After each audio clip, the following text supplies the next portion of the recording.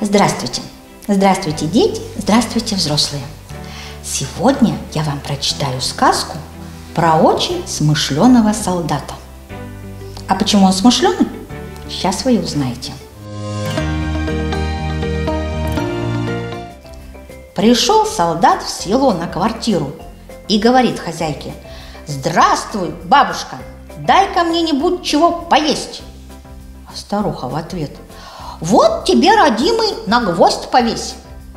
«У, да ты совсем глухая, ничего не чуешь».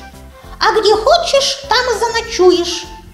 «Ну, погоди», — думает солдат, «я те глухоту-то вылечу». «Подавай, бабушка, на стол!» «Да нечего, родимый!» «Вари кашицу!» «Да из чего, родимый?» «Давай топор, я из топора сварю!»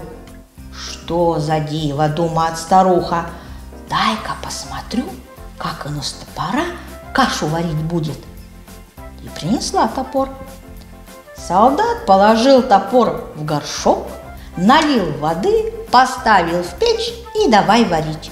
Варил, варил, попробовал и говорит, всем бы каша взяла, только бы крупы туда подсыпать. Принесла баба круп. Солдат опять варил, варил, попробовал и говорит, совсем бы каша готова, только бы маслицем сдобрить. Принесла ему баба и масло. Сварил солдат кашу. Ну, бабушка, давай теперь хлеба да соли, доберись за ложку. Станем кашицу есть. Похлебали вдвоем кашу. Старуха и спрашивает, а что служивый, когда топор-то есть будем? Солдат ткнул в топор вилкою и говорит, еще не доварился – Сама завтра довари.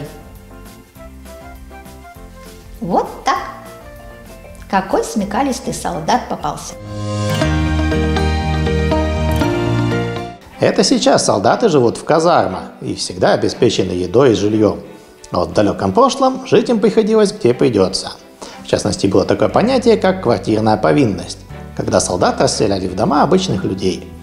А кому же захочет запускать чужого человека – да еще и кормить лишний род. Вот прямо как той бабке из сказки. Впрочем, русский солдат известен не только силой духа, но и смекалкой. И чем подкрепиться, всегда найдет.